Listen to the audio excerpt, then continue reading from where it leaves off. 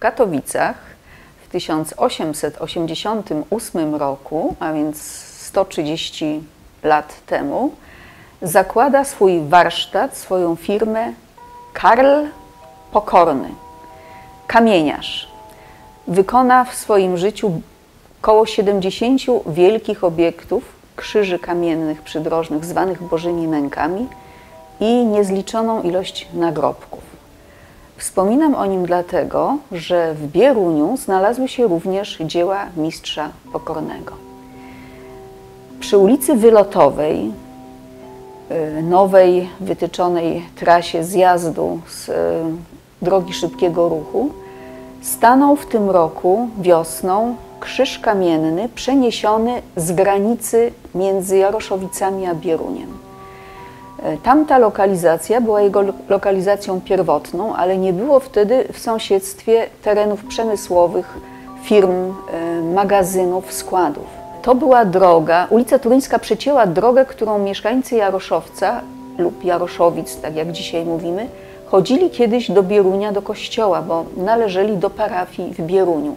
A zatem na granicy gruntów jednej i drugiej miejscowości właśnie mieszkańca, e, mieszkańcy z Jaroszowic i z Bierunia wspólnie, wspólną fundacją ustawili ten krzyż wyznaczający tak jakby granicę pomiędzy obiema miejscowościami. Cały ten teren zmienił się bardzo w ostatnim czasie, kiedy powstała fabryka samochodów małolitrażowych, obecnie FCA Fiat i mm, powstała ulica Turyńska, mm, teren zupełnie stracił swoje dawne znaczenie, ta droga zniknęła tak jakby z mapy i krzyż stał trochę zapomniany, mało kto wiedział o tym, że on tam stoi. Niemniej w 2007 roku e, gmina Bieruń e, odnowiła e, cały ten krzyż, który kiedyś był pomalowany mm, takimi kolorami ciemna zieleń, ciemny brąz, farbami olejnymi.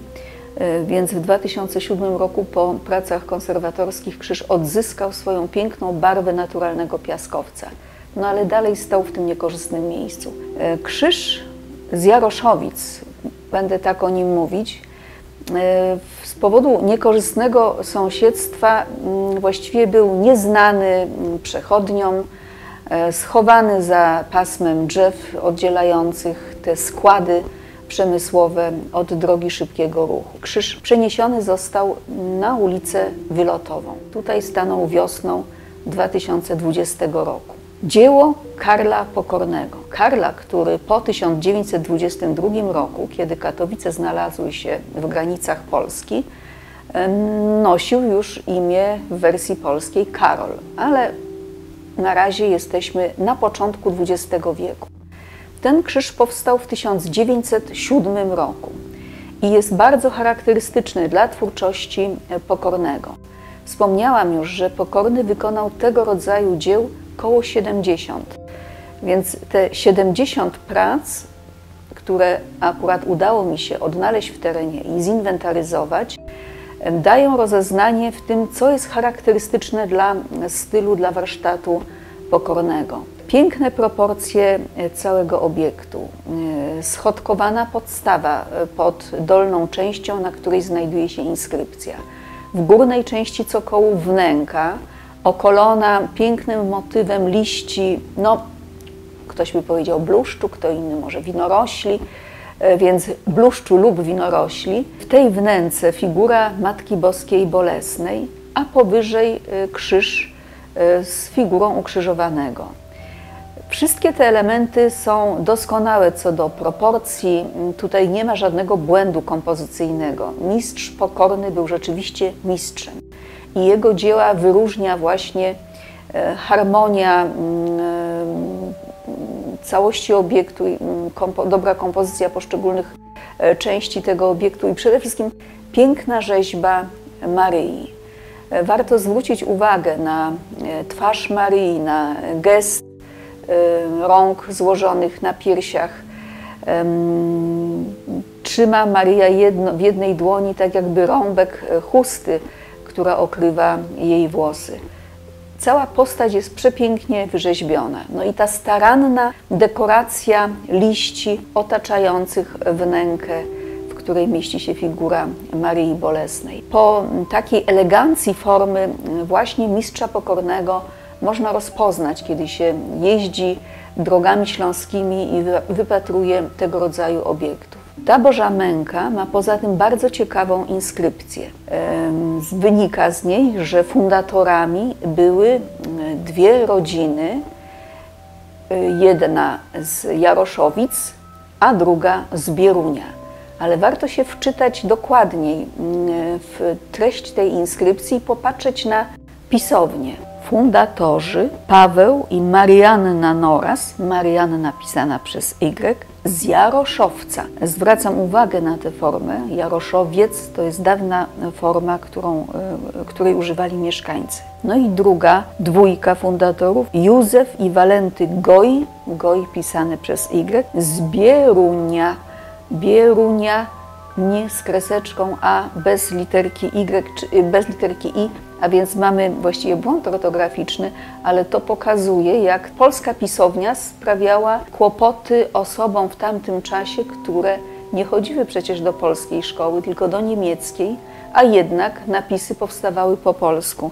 A że się gdzieś jakiś błąd y, znalazł, y, no to tylko świadczy o y, tej, tym, tym trudzie pokonywania kłopotów z polską pisownią przez osoby, które nigdy do polskiej szkoły nie chodziły. No i mamy jeszcze datę 1907. E, charakterystyczne jest, że w przypadku tego obiektu ten długi napis e, fundacyjny nie jest obwiedziony żadną ramką, obwódką, co, się, e, co jest charakterystyczne na innych obiektach, które wyszły spod ręki pokornego.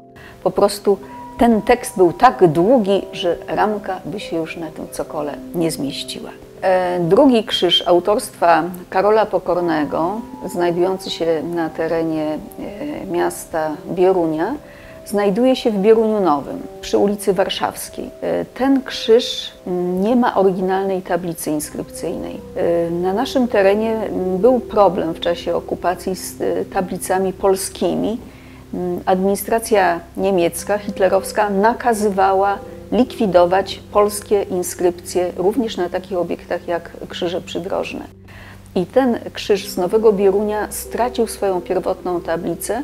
W to miejsce zapewne nakazano e, montować tablicę lastrykową z niemieckim napisem. Po wojnie e, mieszkańcy zlikwidowali z kolei tą niemiecką i wstawili polską, która w tej chwili ma napis e, no właściwie sformułowany już e, w latach po II wojnie światowej i nie zachowała się w tym tekście inskrypcji data fundacji. Tradycja ustna mówi, że to jest krzyż z 1905 roku. Tak jeszcze przed wielu laty mówili mi mieszkańcy okoliczni, że ja ten krzyż my postawili y, w 1905 roku, że taka data tu kiedyś była.